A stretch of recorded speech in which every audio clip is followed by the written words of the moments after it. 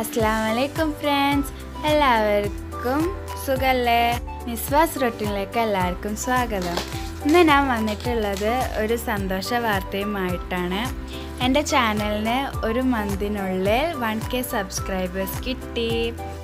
എന്നെ സപ്പോർട്ട് ചെയ്ത എല്ലാവർക്കും ഒരുപാട് താങ്ക്സ്.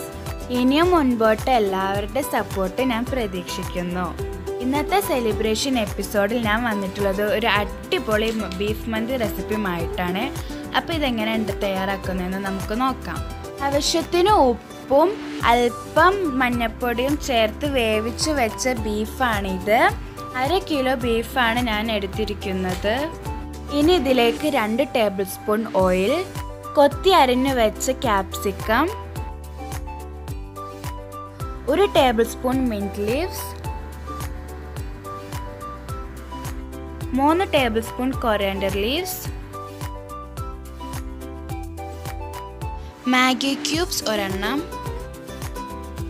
അല്പം റെഡ് ഫുഡ് കളർ ഇത് ഓപ്ഷണൽ ആണ്. ഇനി ഇതെല്ലാം നന്നായി മിക്സ് ചെയ്തെടുക്കാം. ഞാൻ ടേസ്റ്റ് ചെയ്തപ്പോൾ മാഗി ക്യൂബിന്റെ ടേസ്റ്റ് കുറവുണ്ടായിരുന്നു. അതുകൊണ്ട് ഞാൻ ഒരു ക്യൂബും കൂടെ ആഡ് ചെയ്ത് നന്നായി മിക്സ് ചെയ്തെടുത്തു.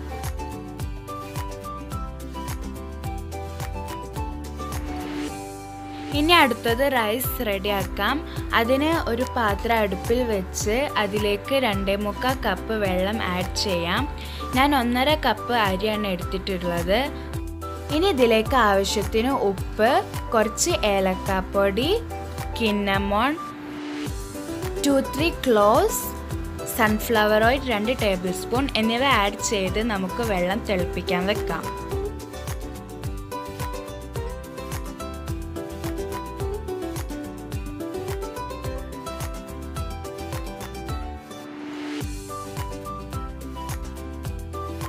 വെള്ളം നന്നായി തിളച്ച് വന്നിട്ടുണ്ട്.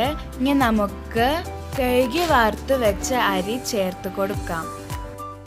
ഞാൻ ഇവിടെ ജീരകശാല അരിയാണ് എടുത്തിരിക്കുന്നത്.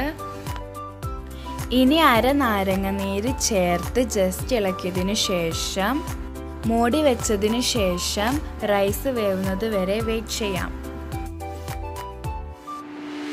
നേരത്തെ മാറ്റി വെച്ച ബീഫ് ഞാൻ വേറൊരു പാത്രത്തിലേക്ക് മാറ്റിയിട്ടുണ്ട്.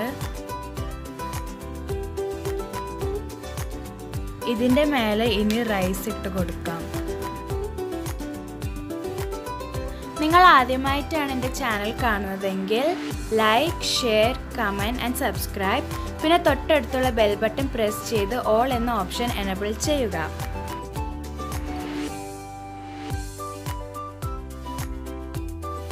ഇനി മഞ്ഞൾപ്പൊടി ഒരല്പം വെള്ളത്തിൽ കലക്കിയത് ചേർത്ത് കൊടുക്കാം.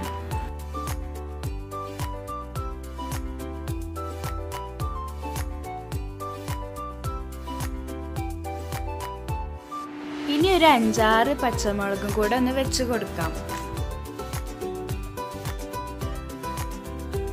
ഇനി നമുക്ക് കനലിടാം. അതിനുവേണ്ടി ഞാനൊരു ചെറിയ പാത്രം നടുക്ക് വെച്ചിട്ടുണ്ട്. ഇനി ഇതിലേക്ക് ചാർക്കോൾ വെച്ച് ഒരു അലൂമിനിയം ഫോയിൽ കൊണ്ട് മൂടി ഒരു five to ten minutes low ഫ്ലെയിമിൽ കുക്ക് ചെയ്തെടുക്കാം. ഇതിന് കുറഞ്ഞ ഇൻഗ്രീഡിയൻസ് മതി. പിന്നെ വളരെ പെട്ടെന്ന് തയ്യാറാക്കാൻ പറ്റിയൊരു അടിപൊളി ബീഫ് മന്തി റെസിപ്പിയാണിത് നിങ്ങൾ എല്ലാവരും ഇത് ട്രൈ ചെയ്ത് എനിക്ക് ഫീഡ്ബാക്ക് അറിയിക്കണം കേട്ടോ. ഇനി അടുത്ത നല്ല റെസിപ്പിയുമായി വരുന്നത് വരേക്കും. ബൈ